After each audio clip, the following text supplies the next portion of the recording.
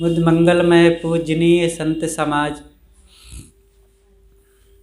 सम्माननीय सज्जनों, भक्तिमयी माताओं एवं बहनों।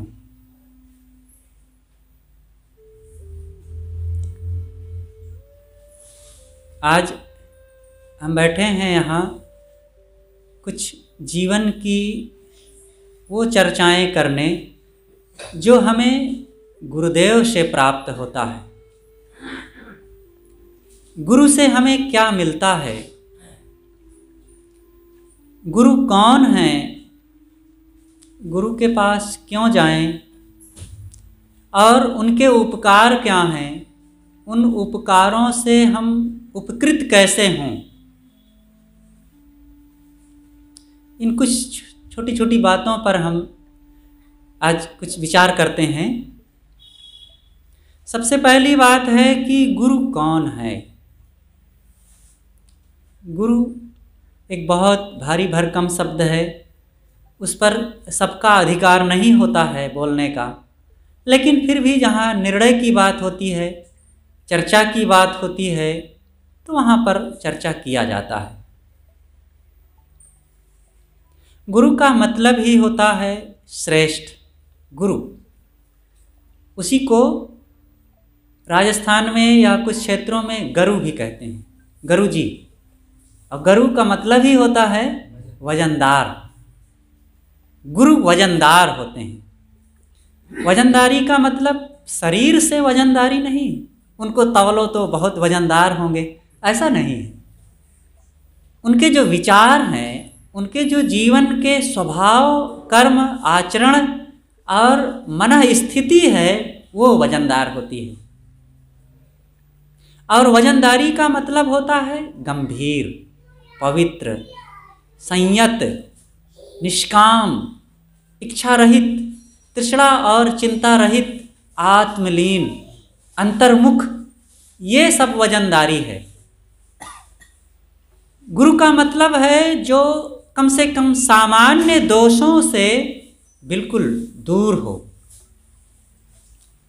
गुरु की पहचान, कहते हैं कि साहब गुरु की शरण में जाना चाहते हैं तो गुरु किनको बनावें?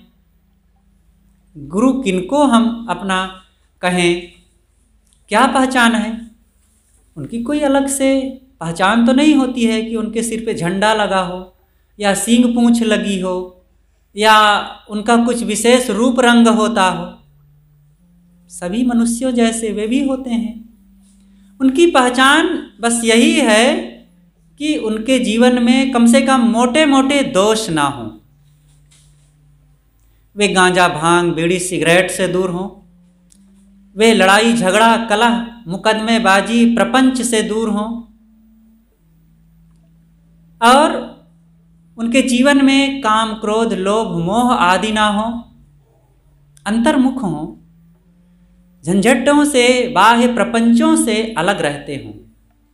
किसी विशेष संत गुरु से जुड़ करके उन्होंने अपने जीवन को परिशुद्ध किया हो। वे गुरु हो सकते हैं और वे ही ऐसे लोग ही सच्चे गुरु होते हैं। तो गुरु का मतलब ही होता है बोधवान। सदगुरु कबीर ने कहा है, पूरा साहिब से ये सब विधि पूरा होए। ओछे से नेह लगाए के मूलह आवे खोए। पूरे साहेब की सेवा होनी चाहिए। पूरा साहेब का मतलब जो पूर्णता की ओर चल रहा हो और या तो पूर्ण हो चुका हो। इस बात पर गुरुदेव जी का वो संस्मरण याद आता है। गुरुदेव जी गोंडा जिला में थे एक जगह। तो ब्राह्मणों के गाँव में थे, वहाँ बहुत लोग। गोंडा जिला में कई ऐसे गाँव हैं जहाँ पर ब्राह्मणों का गढ़ है। बहुत लोग हैं ब्रह्म समाज के लोग। तो एक पंडित जी के यहाँ ही थे। तो एक बूढ़े पंडित आए गुरु जी के पास, कहें, साहब, आपके संतों में कोई ब्राह्मण हो तो चले भोजन बनावे। तो गुरुदेव जी ने कहा कि मेरे समाज में तो जो मेरे साथ हैं, सब ब्राह्मण हैं। कहा, ऐसा कैसे हो सकता है साहब? सब ब्राह्मण हैं? कहा हाँ सब ब्राह्मण हैं। या तो वे ब्राह्मण हो चुके हैं या ब्राह्मणत्व की ओर चल रहे हैं। लेकिन तुम जैसे नकली ब्राह्मण नहीं है। क्या साहब, हम नकली ब्राह्मण कैसे हैं? गुरुदेव जी ने कहा कि वो श्लोक, काम क्रोधो वशो। काम क्रोध, लोभ, मोह को जिसने वश में कर लिया हो, अहंकार आसक्ति को जिसने दूर कर दिया हो, श्रद्धा और भक्ति से जो परिपूर्ण हो, आत्मज्ञान में जो स्थित हो, उसे ब्राह्मण कहते हैं। तो बताओ, ऐसे हो कि नहीं तुम? कहें, साहब, ऐसे तो नहीं हैं हम। कहा, इसलिए तो मैंने कहा, तुम जैसे नकली ब्राह्मण नहीं है मेरे पास। तो नकली ब्राह्मण ना बने। इसी प्रकार नकली गुरु ना बने। सच्चे ब्राह्मण। ब्राह्मण का अर्थ ही होता है कि जो ब्रह्म में स्थित हो, वो ब्राह्मण है। ब्रह्म जाना इति ब्राह्मण। ब्रह्म। ब्रह्म किसे कहते हैं? बृहत्वाद ब्रह्म। जो श्रेष्ठ हो, वो ब्रह्म है। अश्रेष्ठ क्या है? आत्मा ही श्रेष्ठ है। इस आत्मा से बढ़कर क्या आत्मा की बराबरी में दुनिया में कोई चीज़ नहीं है? जो आपका स्वरूप है, जो आपके अंदर बैठी वो सत्ता है, चेतन, जीव जिसे कहते हैं सरल भाषा में, उसे ही आत्मा कहते हैं, उसे ही ब्रह्म कहते हैं। और ये महान है, यही दिव्य है। और इसको जो पहचाने, इसको जो सोचे, इसको जो चिंतन मनन करे, इसकी जो चर्चा करे और इस आत्मदशा में जो ठहरे, वो ब्राह्मण है। अब सब लोग ये विचार करें कि कितने लोग ब्राह्मण हैं इसमें? और फिर सच्चा ब्राह्मण किसे कहें? और जो इस ब्राह्मणत्व को प्राप्त कर लिया हो, वो सच्चा गुरु है।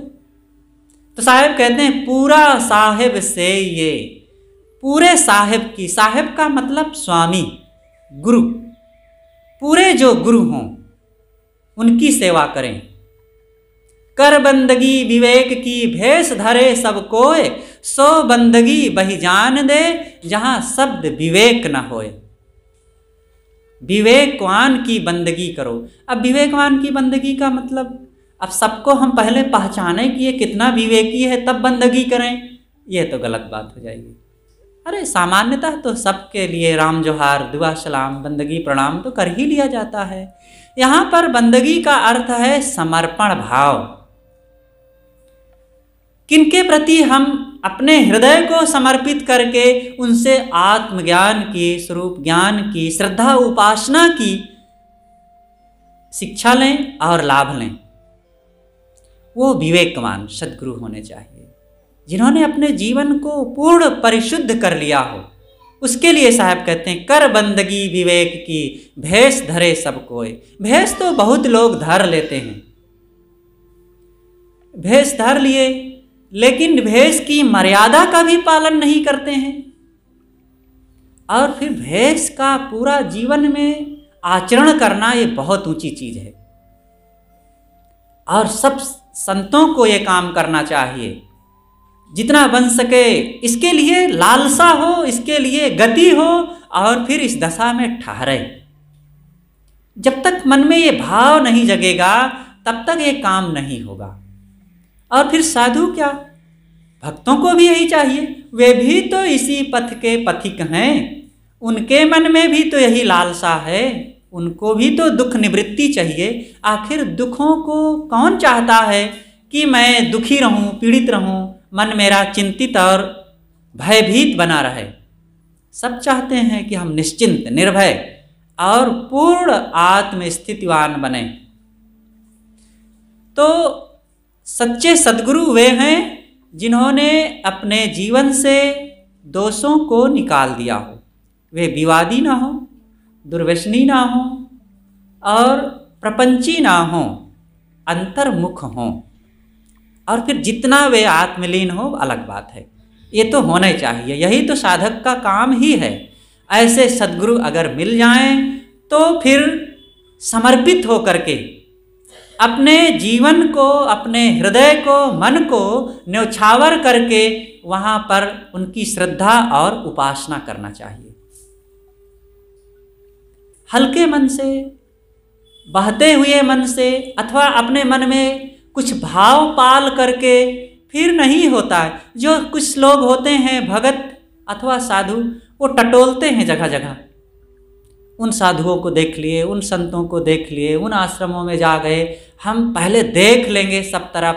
तो देखते देखते देखते वर्षों बिता दिए। अब फिर जब सब तरफ़ देखते हैं तो अभी तो कहीं समर्पित हुए नहीं तो सबकी आंतरिक भावनाओं को देखते हैं। खूब। और देखने से तो कहाँ नहीं गलतियाँ मिल जाएँगी? वहाँ कुछ ना कुछ दोस्त मिलेंगे, कुछ ना कुछ, कोई डांट रहा है, कोई कुछ बोल दिया, किसी में कुछ त्रुटि निकल आई, किसी के समाज में, किसी के व्यक्तिगत जीवन में तो धीरे से, अरे सब ऐसे हैं। कहीं नहीं, ये सब साधु समाज सब ऐसे है, बेकार हैं। और फिर वे कहीं के नहीं रह जाते। कहीं भी अपने आप को वे समर्पित नहीं कर पाते, इससे हानि किसकी हुई? अरे कोई सब यहाँ सब कोई तुरंत सदगुरु थोड़े हो जाता है। साधना करते करते, धीरे से, सुधरते सुधरते जीवन में तब सुधार आता है। और फिर श्रद्धा, उपासना, विवेक, विचार, वो कल्याण की दशा को अपनाते हुए तब आता है। अब जिज्ञासु का काम है, चाहे वो भक्त हो या संत, साधक हो, विरक्त हो, उसका काम है कि कोई बोधवान मिले और सच्चे साधक हों, पवित्रता उनके जीवन में हो, सदाचार और जीवन की साधना की ओर रहनी हो, बस जाकर समर्पित हो जाए। और समर्पित होकर के बस अपने को देखे, अपने को सुधारे, बस काम होता जाता है। एक साधक का कल फ़ोन आया। उन्होंने कहा, साहब, कैसे साधना किया जाए? सुपरिचित हैं। मैंने कहा कि, तुम्हारी कुछ विशेषताएँ भी हैं। और कुछ मैंने कहा कि इस ढंग से जीवन को जिया जाए तो साधना में और प्रगति होगी, मन को शांति मिलती है। वे अच्छे थे, वे कहीं इधर उधर बहुत टटोलने की आदत वाले नहीं थे। मैंने कहा कि आपकी जो ये आदत है ना, यही आपको यहाँ तक लाई है। और इस ढंग से आपने अपने आप को निभाया है और निखारा है, और मन में ये प्रेम और उपासना, श्रद्धा, भक्ति जो बनी हुई है, यही है। जो घाट घाट का पानी पीने की आदत रखता है ना तो वो घाटों में बिक जाता है। और फिर वो कहीं का नहीं रहता। इसलिए साधक और संत, गुरु दोनों की अपनी एक पात्रता होती है। संत ऐसे हों जो अंतर्मुखी हों और साधक ऐसा हो जो समर्पित हो, जिज्ञास हो, कल्याण की भावना वाला हो। लाग लपेट वाला नहीं। कुछ इधर भी चले, कुछ उधर भी चले। इसलिए पवित्र रहनी, पवित्र भाव, पवित्र जिज्ञासा यह है गुरु और शिष्य की अपनी योग्यता। गुरु से साधक को मिलता क्या है? क्यों गुरु के पास जाएँ? हमारी क्या गर्ज है? हम डॉक्टर, मास्टर, इंजीनियर, वकील के पास जाते हैं तो कई जानकारियाँ, कई चीज़ें, रुपए, पैसे और भी जीवन गुजर की चीज़ें मिलती हैं। गुरु के पास क्यों जाएँ? सत्संग में क्यों जाएँ? गुरु और संतों से वह मिलता है जो और कहीं नहीं मिलता है। हमारे मन की पीड़ा मिटे, बताइए भला ऐसी इच्छा किसके पास है? हमारे माता पिता, भाई, बंधु, चाचा, काका, दादा, मामा, फूफा, जीजा, कौन हमारी फ़िक्र करता है कि इनके मन में शांति रहे, पवित्रता रहे, प्रसन्नता रहे, निश्चिंतता रहे और इनका कर्म सुधर जाए? और ये इसी जीवन में पूर्ण निर्भयता, निश्चिंतता का अनुभव करके मुक्त हों, किनको गर्ज है? कौन हमारे लिए ऐसा भाव रखता है? सबको तो यही चाहिए ना। कोई कहता है, धन दो। कोई कहता है, रुपया दो। ज़मीन दो। मान दो? सम्मान दो? सब अपने अपने ज़रूरत की चीज़ हमसे अपेक्षा रखते हैं। हमारे मन की पीड़ा मिटे, हमारा दुख मिटे, हमारे क्लेश दूर हों, ऐसा कोई रिश्ते नातों में नहीं दिखता है। एक बोधवान गुरु और जो संत हैं, वे ही हमारे हितैषी है। इसीलिए सदगुरु विशाल देव ने कहा है, संत सहायक जीव के संत ही पार लगाए, औरन से या होए नहीं जो भ्रम भूल भगाए। संत ही सच्चे सहायक हैं, जीव के। जीव के सहायक होना बहुत मुश्किल है। हम जिसे अपना अपना सहायक मानते हैं, वे चीज़ें दे सकते हैं। लेकिन हमारे मानसिक व्यथा को, मानसिक ज्वाला को बढ़ा देते हैं।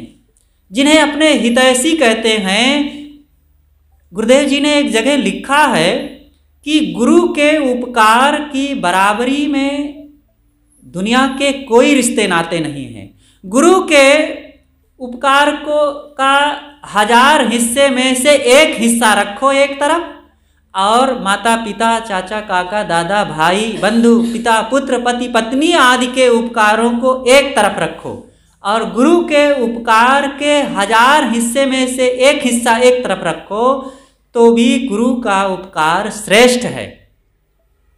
क्योंकि जो गुरु का उपकार है, वो हमारे जन्म मरण के भव बंधनों को मिटाने वाला है। हमारे आसक्ति मोह, अहम को मिटा करके हमें हमसे बोध कराने वाला है। हमारा स्वयं का परिचय कराने वाला है। और जो भाई बंधुओं का, चाचा काका, दादा मामा, माता पिता आदि का उपकार है, वो तो हमें कुछ रुपए देंगे। हमारे शरीर के लिए कपड़ा, भोजन, मकान आदि की व्यवस्था कर देंगे। और जीवन गुजर की कुछ चीज़ें दे देंगे। और वो चीज़ें, वो सुविधाएँ हमारे शरीर के साथ समाप्त हो जाएँगे। और फिर शरीर रहते रहते भी कितने कौन हमारी व्यवस्था करता रहता है? थोड़े दिन माता पिता साथ देते हैं, थोड़े दिन भाई बंधु साथ देते हैं, थोड़े दिन के लिए पति पत्नी का रिश्ता है, और उसमें भी बीच में स्वार्थ में धक्का लगा तो फिर साइड कर देने वाले हैं। कोई किसी का साथ देने वाला नहीं है, लेकिन जीव के पीड़ा को मिटाने वाले, उसके जन्म मरण के चक्र को मिटाने वाले तो कोई है ही नहीं। तो गुरु से वह मिलता है हमें जो और कहीं भी नहीं मिलता है। तो क्या मिलता है? हमारी मन की व्यथा समाप्त होती है। अनादिकाल से हम कहाँ कहाँ भटक रहे थे। ये जीव अमर है, नित्य है, अविनाशी है। सबके अंदर वो बैठा हुआ चेतन आत्मा, जो मैं मैं कर रहा है, वो क्या है? कुछ लोग कहते हैं कि ये शरीर है। शरीर में भोजन दिया जाता है, पानी दिया जाता है, हवा जाती है, और इसी एनर्जी से ये शरीर चल रहा है। जैसे गाड़ी में पेट्रोल और मोबाइल पानी, और भी उसकी कुछ ज़रूरतें होती हैं वो डाल दो, गाड़ी चलती रहती है। इसी प्रकार ये शरीर है। शरीर में भोजन, पानी, हवा आदि मिलती रहे और शरीर चलती रहती है और फिर एक दिन इसका समय पूरा होता है, समाप्त हो जाता है। कुछ नहीं बच रहता है। और आत्मा उत्मा नाम की कोई चीज़ नहीं है। ये केवल आपका प्रश्न नहीं है। आज के पढ़ैया लिखैया लोगों का ही प्रश्न नहीं है। यही प्रश्न हज़ारों साल पहले कठ उपनिषद का मुख्य पात्र जो यह नचकेता है, उसने भी किया था। वो पूरी कहानी मैं यहाँ नहीं कहूँगा छोड़ थोड़े मैं कहता हूँ कि कठ उपनिषद ग्यारह उपनिषदों में हमारे भारतवर्ष की एक मुख्य उपनिषद है और उसी उपनिषद में एक उपाख्यान आता है। वाजस्रवश नाम का एक छत्री है, वो यज्ञ कर रहा। यज्ञ में गायों का दान कर रहा। ऐसी गायों का दान जो बूढ़ी, कमज़ोर और एकदम चल नहीं पाती है और दूध देने की बात छोड़ो गोबर भी नहीं दे सकती हैं। ऐसी गायों को गौशाला से छांट छांट करके वे अपने यज्ञ में ब्राह्मणों को दान कर रहे थे। तो उनका एक बेटा था। वाजस्रवश का एक बेटा था, उसका नाम था नचिकेता। नचिकेता को ये सब देख करके बुरा लगा कि हमारे पिताजी ये बूढ़ी बूढ़ी निष्क्रिय गायों का दान कर रहे हैं, जिसको देंगे उसको भी तो कोई लाभ नहीं होगा। और फिर ऐसी निरर्थक चीज़ का दान करके हमारे पिता को क्या लाभ मिलेगा? और अच्छी अच्छी गायें गौशाला में पिताजी छोड़ रखे हैं, और किसके लिए? मेरे लिए। क्योंकि मैं उनका प्रिय हूँ। पुत्र सबसे प्रिय होता है। पुत्र के लिए बड़ा पिता को मोह होता है। कि मैं अपने बेटे के लिए अच्छी अच्छी चीज़ें जोड़ जोड़ करके रखूँ। तो अच्छी अच्छी गायें गौशाला में छोड़ रखे हैं मेरे लिए। और मेरे लिए मोह होने से ये धर्म में आगे नहीं बढ़ पा रहे हैं। और जो धर्म कर भी रहे हैं, कितना निरर्थक थर्ड क्लास का इनका धर्म है। व्यर्थ की गायों का दान कर रहे हैं। इससे इनको क्या लाभ? उन ब्राह्मणों को भी गले में ये लाश को मढ़ रहे हैं, उनको क्या मिलेगा? बूढ़ी गायों को देकर अगर ये हमारे पिताजी को पुत्र का मोह ही भंग हो जाए तो ये धर्म परमार्थ भी करेंगे, इनका भी जीवन सफल हो जाएगा, और उन ब्राह्मणों को भी लाभ होगा। और मेरे लिए भी जो चीज़ों का संग्रह करके लोभ की वृत्ति बढ़ाने की जो इनकी ख्वाहिश है, वह भी मुझे नहीं होगा, मेरा भी लाभ हो जाएगा। तो चलो पिताजी से कहते हैं, पिताजी, आप मुझे किसे दान में दे रहे हैं? पूछता हूँ। तो नचकेता जाता है वाजस्रवस के पास, पिता के पास और कहता है, पिताजी, आप मुझे किसे दान में दे रहे हैं? अब कोई पुत्र अपने पिता से ऐसे पूछे तो पिता को तो बुरा लगेगा। तो उनको क्रोध आ गया, लेकिन चुप रहे। दोबारा कहते हैं, पिताजी दान स्वरूप आप मुझे किसे दे रहे हैं? अब की बार भी बहुत क्रोध आया, लेकिन चुप रहा वाजस्रवस लेकिन नचकेता भी कम नहीं था। तिवारा पूछा कहें पिताजी, आप दान में मुझे किसे दे रहे हैं? अब की बार क्रोध संभाले ना संभला। और फिर वाजस्रवस ने कहा, तुम्हें यमराज को दे रहे हैं। ओ भड़क उठे, ज़ोर से कह दिए।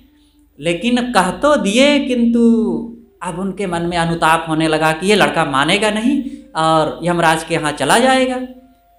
अब अंदर से जलने लगे, पश्चाताप होने लगा, नचकेता समझ गया। उन्होंने पिता से कहा कि, पिताजी, आप आत्मग्लानी ना करें। अनुपस्य था पूर्वे प्रतिपस्य तथा परे, सस्यमिव मर्त्य पच्यते, सस्यमिवा जायते पुनः। अरे, ये मनुष्य तो फ़सल की तरह है, जन्मता है, बढ़ता है, प्रौढ़ होता है, बूढ़ा होता है, मर जाता है। जैसे फ़सल उगती है और थोड़ी बड़ी होती है, पकती है, पीली होती है, सूख के गिर जाती है। ऐसे जीवन हमारा है तो इस जीवन में आकर के आप अपने वचन को व्यर्थ मत होने दीजिए। आपने कह दिया है तो आप फिर जल रहे हैं, ये ठीक नहीं। आपके वचन को मैं पालन करूँगा। आप मुझे यमराज के यहाँ जाने दीजिए। आप आत्मग्लानी मत कीजिए। और फिर मैं आऊँगा। अगर यमराज जी मुझे लौटाएँगे तो फिर मिलूँगा। नहीं लौटाएँगे तो कोई बात नहीं। लेकिन आप प्रसन्न होइए। किंतु कहाँ मोह में ये सब सूझता है? अब नचकेता चला गया यमराज के पास। यमराज थे नहीं घर पर। तीन दिन तक वो पड़ा रहा। यमराज के घर के लोगों ने कहा कि आप यहाँ रुकिए। आप ये विश्राम कीजिए, खाइए, पीजिए और जब यमराज आएँगे तो उनसे बात कीजिएगा। नचकेता ने कहा, नहीं, मैं यहाँ खाने पीने नहीं आया हूँ। मैं यहाँ विश्राम करने नहीं आया हूँ। मैं यमराज से मिलने आया हूँ। मैं, वे जब वे आ जाएँगे, उनसे अपनी बात कह दूँगा। वे मुझे जवाब दे देंगे, मुझे संतोष हो जाएगा। तब फिर जो होगा, सो होगा। लेकिन अभी मुझे कुछ मत खिलाइए। वो दरवाजे पर, घर के भीतर भी नहीं गया, बैठा है। यमराज की प्रतीक्षा में। तीन दिन बाद फिर यमराज आए। यमराज ने सुना तो उनको बड़ा खेद हुआ कि मेरे दरवाजे पर एक ऐसा मेहमान आया है जो इस प्रकार से बैठा हुआ है। मेरी प्रतीक्षा में और फिर वो बालक बिना खाए पिए बहुत कष्ट हुआ। आते हैं, नमस्कार करते हैं और कहते हैं कि मैं तुम्हें तीन वरदान देता हूँ, तीन दिन के बदले। तुम तीन दिन भूखे प्यासे रहे। तीन वरदान मांग लो। उन्होंने कहा, ठीक है, आप देना ही चाहते हैं तो पहला वरदान ये दीजिए कि मेरे पिताजी के पास जब मैं जाऊँ तो वो खुश होकर के मिलें और उनकी आत्मग्लानी समाप्त हो। कहा, ठीक है, ऐसा ही होगा। दूसरा वरदान ये मांगा कि यज्ञ के बारे में तमाम कर्मकांड, विधान कैसे क्या किया जाता है, ये बताइए। तीसरा वरदान था जो मुख्य था तो उन्होंने कहा, एवं प्रेते विचिकित्सा मनुष्य अस्तित के नायम अस्तित चैके। कुछ लोग कहते हैं कि मनुष्य के मर जाने के बाद एवं प्रेते, जब मनुष्य प्रेत हो जाता है, प्रेत का मतलब जब शरीर से जीव निकल गया, तब इस शरीर को प्रेत कहते हैं। प्रेत प्रेत का मतलब वो भूत प्रेत नहीं, जो भ्रम है सबके मन में। ये शरीर से जीव निकल गया तो इस मरे हुए शरीर को लाश को भी प्रेत कहते हैं। पंचभूत भी इसे कहते हैं, भूत भी इसे कहते हैं, प्रेत भी इसे ही कहते हैं। निष्क्रिय। जड़ तत्वों को भूत भी कहा गया है और प्रेत भी कहा गया। जब शरीर जड़ हो गया तो प्रेत हो गया। तो इसी के लिए कहा गया, एवं प्रेते जब शरीर से जीव निकल जाता है, शरीर निष्क्रिय हो गया, जड़ हो गया तो लोग कहते हैं कि इसमें से कुछ नहीं बचता। लेकिन कुछ लोग कहते हैं, एक अमर आत्मा नाम की चीज़ बची रहती है। तो हे अमराज, आप मुझे यह बताइए कि सच क्या है? आत्मा नाम की कोई चीज़ है, वो बचती है, नित्य है कि कुछ नहीं रहता है? तब यमाचार्य ने कहा कि यमरा नचकेता, तुम ये मत पूछो कि शरीर के छुटने के बाद कुछ बचा रहता है कि नहीं? तुम और कुछ पूछ लो, और कुछ मुझसे मांग लो, लेकिन ये मत पूछो। कहे, नहीं महाराज, मुझे यही बताइए मैं यही पूछना चाहता हूँ, आप दूसरी चीज़ दे रहे हैं। ये कौन सी बात हुई? आप मुझे ये बताइए कि आत्मा नाम की चीज़ क्या है? वो है कि नहीं? है तो कैसे और नहीं है तो कैसे? लोग कहते हैं कि है, कुछ लोग कहते भी हैं कि है। तो दोनों में सच क्या है? तब यमराज कहते हैं, देखो नचकेता, तुम मुझसे धन मांग लो, गाड़ी मांग लो, रथ मांग लो, पालकी मांग लो, रुपए, पैसे, सोने, चांदी मांग लो, ज़मीन मांग लो, गायें मांग लो, और ऐसे ऐसे दिव्य भोग मांग लो जो देवताओं को भी दुर्लभ है। लेकिन तुम ये मत पूछो कि आत्मा नाम की चीज़ क्या है और वो होती है कि नहीं। तब नचकेता को लगा कि अरे, ये इसका मतलब मेरा प्रश्न बहुत मूल्यवान है, और उसी को माल टाल समझ करके ये बचाए रखते हैं, अन्य चीज़ें सब दे रहे हैं। इसका मतलब जो दे रहे हैं वही साधारण चीज़ है, और जो मेरा प्रश्न है वो तो और मजनदार है। तब नचकेता ने कहा कि महाराज, आपकी ही बातों से लगता है कि मेरी बात और ज़्यादा वजनदार है। अब आप मुझे अब यही बताइए मैं आपकी चीज़ों को नहीं चाहता हूँ। आपके चीज़ें आपके पास ही रहे। मुझे तो यह बताइए कि सच क्या है? आत्मा नाम की चीज़ कोई है कि नहीं? देखिए, नचकेता यहाँ पर शिष्य है और यमाचार्य गुरु हैं। और गुरु का काम है कि अपने शिष्य की कसौटी करना। और यमाचार्य ने बहुत कसौटी लिया। अभी और वो, आप कठोपनिषद पढ़ेंगे तो देखेंगे कि लंबा उन्होंने परीक्षण किया है नचकेता का, बहुत लुभाया है, लेकिन वो बच्चा मानने वाला नहीं है। उसकी उम्र क्या है? चौदह से सोलह साल के बीच का बच्चा है वो। लेकिन इतना दृढ़ संकल्प वाला, इतना कुशाग्र बुद्धि वाला, इतना जिज्ञासा से भरा हुआ, आत्मज्ञान का पिपाशु और श्रद्धा और भक्ति से भरा हुआ और वो कहता है, महाराज, मुझे आप यही बताइए कि शरीर छूटने के बाद क्या चीज़ रहती है जो शरीर को लोग दफना देते हैं? कौन सी चीज़ इसमें से निकल गई कि लोग जवान से जवान व्यक्ति को भी ले जा करके जला देते हैं, दफना देते हैं? वो क्या चीज़ है? तब यमाचार्य ने कहा कि, नचकेता, तुम उत्तम जिज्ञासु हो और तुम मेरी बातों में, मेरे बहकावे में, मेरी परीक्षाओं में, तुम खोटे नहीं उतरे, खरे उतरे हो। और तुम एक बहुत ही महत्वपूर्ण जिज्ञासा और ऐसी श्रद्धा भक्ति को लेकर के आए हो। तुम तर्क वितर्कों में और दुनिया के प्रपंचों में मोह, भ्रम और अंधविश्वासों में अपनी इस भावना को खो मत देना। और तुम एकाग्र होकर के मेरी बातों को सुनो। फिर उन्होंने लंबा उपदेश दिया है जो आत्मज्ञान का, वो बहुत महत्वपूर्ण है। आप लोगों को ग्रंथ पढ़ना चाहिए। सदगुरु अभिलाष साहेब जी की पुस्तक है उपनिषद सौरभ। आप उसको देखिए। मैंने कठ उपनिषद पर भी कुछ विचार दिया है, जो यूट्यूब में भी अपलोड किए गए। तो चार खंडों में है, जो थोड़ा थोड़ा है, बीस पच्चीस मिनट का एक एक आप उसको सुनना चाहें तो उसमें से और पूरा विस्तार से सुन सकते हैं। तो इस प्रकार से एक गुरु को कैसे होना चाहिए, गुरु से क्या मिलता है? आत्मज्ञान। आत्मज्ञान। देखिए, आत्मज्ञान क्या है? कुछ लोगों को लगता है कि आत्मज्ञान मिलने से क्या फ़ायदा होता है? रुपया, धन, भोजन, गाड़ी आदि मिलने से तो जीवन गुजर होता है। और आत्मज्ञान मिलने से क्या होता है? मैं पूछता हूँ कि आपको प्रेम मिलने से क्या होता है? आप कहीं भी रहें, आपको एक घर में रखा जाए, सुंदर, आलिशान एयर कंडीशन भव्य भवन में रख दिया जाए, और खाने पीने की चीज़ें भी दिया जाए। कोई व्यक्ति आपके पास जाए और सब सुविधापूर्ण आपको खाने पीने के लिए अच्छी अच्छी चीज़ें दे जाए। और अच्छा सा घर भी है, अच्छी सुविधाएँ भी है, जीवन गुजर की सारी चीज़ें हैं, लेकिन आपसे कोई बोले ना आपसे कोई बात ना करे और आपसे कोई मिलने ना आवे तो सोचिए आपके मन में क्या भाव होगा? ना वहाँ पर प्रेम हो, ना जिज्ञासा हो, ना एक दूसरे के लिए किसी ढंग से जिज्ञासा हो, ना सेवा की भावना हो तो सोचिए कि आपके मन में क्या भाव जगेगा। आपको कैसे लगेगा? यही लगेगा कि हमें तो प्रेम चाहिए, प्रेम जिज्ञासा, श्रद्धा, सद्भाव, इसकी बड़ी ज़रूरत होती है। इसीलिए श्रद्धा, भक्ति, प्रेम, सद्भाव, एक दूसरे का आदर, सम्मान, इसकी बड़ी ज़रूरत होती है। किसी पिता के पास जाएँ या किसी भाई के पास जाएँ तो उन भाई और पिता को, पुत्र और पत्नी को यही तो चाहिए कि हमें प्रेम मिले, हमें सम्मान मिले हमें आदर भाव मिले। तो ये सबके मन में जिज्ञासा होती है। इसी प्रकार हमें आत्मज्ञान मिलना चाहिए। तो ये प्रेम, जिज्ञासा, सद्भाव, विनम्रता हमारे जीवन की अनमोल चीज़ है। और इस, इसको हमें किसी बोधवान, संत और गुरु से हम प्राप्त कर सकते हैं।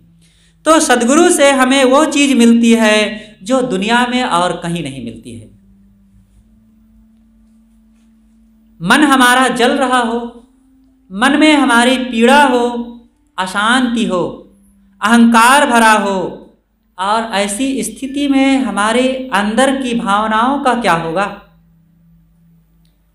लेकिन जहाँ पर जिज्ञासा हो, सद्भाव हो, और ज्ञान भक्ति हो, सद, सदगुरु और संतों से हमें प्रेम और सद्भाव मिलते हों तो वो कितनी महत्वपूर्ण चीज़ है। इसलिए हमें बाहर से लौट करके अंतर्मुख होना चाहिए।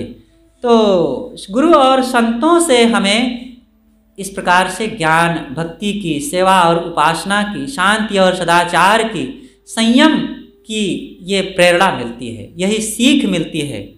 गुरु से हम उपकृत कैसे हो सकते हैं?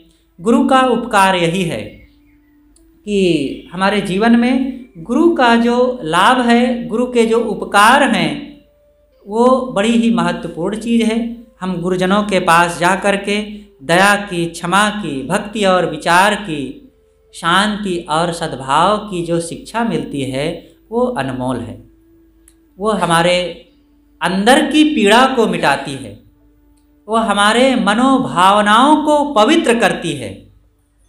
इसलिए सदगुरु कबीर ने कहा है, जाको सदगुरु ना मिला, व्याकुल दहुदिस धाय। आँख न सूझे, बावरा घर जरे घूर बुताए केवल वे आत्मज्ञान की ही बात नहीं बताते हैं, बल्कि संतों से व्यवहारिक बातें भी सीखने को मिलती है। कैसे खाना चाहिए, क्या खाना चाहिए, कैसे बोलना चाहिए, और जीवन में व्यवहार कैसे करना चाहिए। एक दूसरों के साथ संयम, सदाचार, बात, व्यवहार की इन छोटी छोटी बातों को कैसे जीवन में उपयोग किया जाए तो इस प्रकार से जीवन में ये हर प्रकार की शिक्षाएँ मिलती है। सदगुरु अभिलाष साहेब जी से देखने को मिला कि वे छोटी छोटी बातों को कैसे अपने जिज्ञासुओं को, साधकों को, मुमुक्षुओं को और यहाँ तक कि बड़ी बड़ी सभाओं में भक्तों को भी वे अच्छी अच्छी ये व्यवहारिक बातें सिखाते थे। कैसे बोलना चाहिए, कैसे बात करना चाहिए, कैसे मंजन करना चाहिए, यह भी हमें सिखाते थे। लोगों को तो यह भी पता नहीं रहता, पढ़ाई लिखाई में बहुत आगे बढ़ चढ़ गए हैं, लेकिन कैसे खाना चाहिए, क्या खाना चाहिए, कैसे बोलना चाहिए, ये छोटी छोटी बातें हम नहीं सीख पाते हैं, लेकिन जब गुरुजनों से, संतों से, साधकों के पास जाते हैं, बैठते हैं तो ये छोटी छोटी बातें, व्यवहारिक बातें, सदाचार की बातें, जीवन कल्याण की बातें हमें गुरुजनों से सीखने को मिलती है। इसलिए हम लोग इन अध्यात्म की बातें, गुरु ज्ञान की बातें, संयम सदाचार की बातें हम सीखें और उन गुरुजनों से प्रेरणा लें। जीवन कल्याण की वो बातों को सीख करके हम आत्मज्ञान, संयम सदाचार को अपनावें। मैंने कहा कि गुरु से हमें वह मिलता है जो अन्यत्र कहीं नहीं मिलता। गुरु सिकली गर कीजिए, मन ही मस्खला दे, शब्द छोलना छोल के चित दर्पण कर ले। गुरु कैसे होने चाहिए? सिकलीगर की तरह। सिकलीगर आप लोग जानते होंगे जहाँ पर धार लगवाया जाता है, कैंची में, छुरा में, चाकू में, अब तो नहीं दिखते, पहले गाँव में भी लोग आते थे हंसिया खुरपा छुरी चाकू में भी धार लगा जाते थे। बाजारों में तो आज भी मिल जाते हैं। पहले तो साइकिल में बाँध करके रखते थे आते थे और धार लगा करके चले जाते थे। अभी भी है। अच्छा। और लेकिन अब तो मशीन होती है एक जगह में उनकी दुकान है और खूब उसमें भी कमाई होती है। तो साहब कहते हैं गुरु सिकलीगर कीजिए सिकलीगर की तरह गुरु होना चाहिए। सिकलीगर जैसे होता है, वहाँ पर कोई औज़ार ले जाओ, उसमें धार लगा करके चमका देते हैं। उसके मूर्छा को छुड़ा देते हैं, उसमें नई धार लगा देते हैं।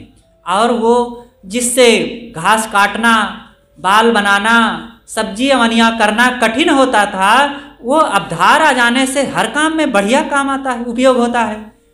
तो गुरु ऐसे होते हैं।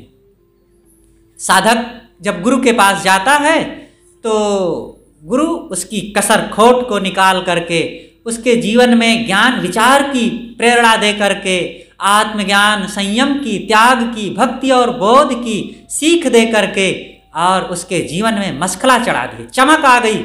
गुरु के उपकारों से, गुरु की प्रेरणा से, गुरु से शिक्षित होकर के ही तो कोई भी साधक का मूल्य बढ़ जाता है ना? एक जगह एक ने लिखा कि मैं तो बेमोल था और उस समय मुझे कोई दो कौड़ी में खरीदने वाला नहीं था।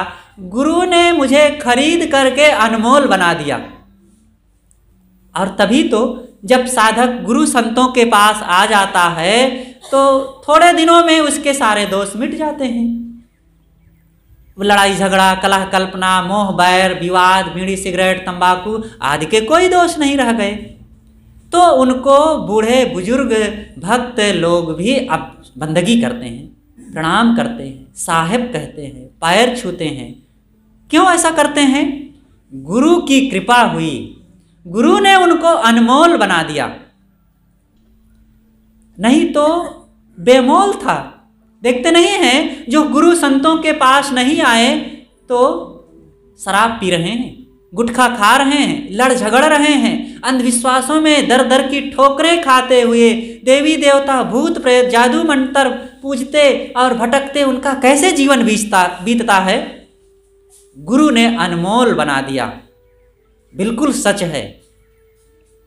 गुरु कुम्हार शिष्य कुंभ है गड़ी गड़ी काढ़े खोट, अंतर हाथ सहार दे, बाहर बाह चोट। गुरु कुम्हार की तरह होते हैं। जो धीरे धीरे सारे खोट को, कसर को निकाल करके ठोंक ठोंक करके साधक को ठीक करते हैं। और कुम्हार दो काम करता है। ठोकर भी मारता है और सहारा भी देता है। सहारा भी देता है। दोनों काम करता है। केवल ठोकर मारता रहे, तब तो घड़ा टूट जाएगा। और केवल सहारा ही देता रहे पुलुर पुलुर भीतर से करता रहा सहारा का तो घड़ा बनेगा ही नहीं, बढ़ेगा ही नहीं, मज़बूत ही नहीं होगा, घड़े का कोई रूप ही नहीं आएगा। तो दोनों की ज़रूरत है। बस ऐसे ही गुरु का काम है। गुरु शिष्य को घड़ा जब चोट सहता है, तभी सुंदर, मज़बूत और एक अच्छा घड़ा कहलाता है। लोगों के काम आता है। इसी प्रकार जो साधक गुरु की चोट को सहता है और उनकी आज्ञाओं में निखरता है, सोना जब तपाया जाता है और तब लगता है, तब लोग कहते हैं हाँ भाई असली सोना है, इसमें देखो चमक है, कालापन नहीं आया है। इसी प्रकार गुरु की ठोकर खाने के बाद तब फिर वो असली सोना बनता है। तब उसमें चमक आती है, तब उसमें पानी भरता है व्यक्ति और शीतलता का अनुभव होता है। एक कुम्हार था, वो चाक पर मिट्टी रखा और वो चिलम बनाता था, लेकिन चिलम बनाते बनाते एक दिन उसके मूड में आया कि उसको घड़ा बना दिया। घड़ा बना दिया। तो चिलम से घड़ा बन जाना कितना अंतर हो गया ना। तो एक ने पूछा कि अरे तुम क्या बना दिए? कहा, अरे आज मेरा विचार बदल गया। रोज चिलम बनाता था, बनाते बनाते चिलम सोचा आज घड़ा बनाऊँ। तो कुमार ने कहा, मेरा विचार बदल गया और मैंने आज घड़ा बना दिया। तो घड़ा बोलता है, तुम्हारा विचार ही बदल गया। अरे, मेरी तो किस्मत ही बदल गई। चिलम बोलती है, मेरी तो किस्मत ही बदल गई। कैसे बदल गई? कहे, पहले तो चिलम में बन रही थी, और चिलम बनती थी तो मेरी छाती पर अंगारे रखे जाते थे, और मैं खुद जलती थी, और जो पीता था मुझे उसको भी मैं जलाती थी। और आज तो फिर क्या पूछना? शीतल, मुझमें शीतल पानी मैं शीतल हूँ और जो मेरे पानी को पीता है वो शीतल हो जाता है। देखिए, कुम्हार का तो विचार बदला था और उस मिट्टी का, उसकी तकदीर बदल गई। बस ऐसे ही गुरु का काम है।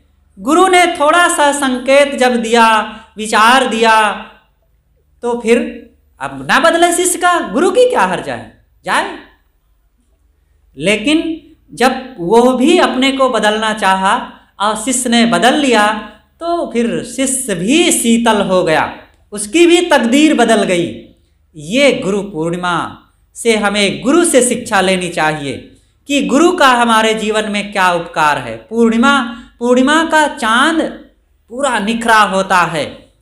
और कैसे निखरता है? वो बादलों से ढका होता है। अभी चंद्रमा, पूर्णिमा को देखे होंगे? कहीं दिखा होगा। मेरे पास एक जगह से फ़ोन आया। कहे, साहब, आज का चाँद तो क्या पूछना है? थोड़ा से दिखाई दिया है, लेकिन बड़ा चमकदार। हमने कहा, क्यों नहीं चमकेगा?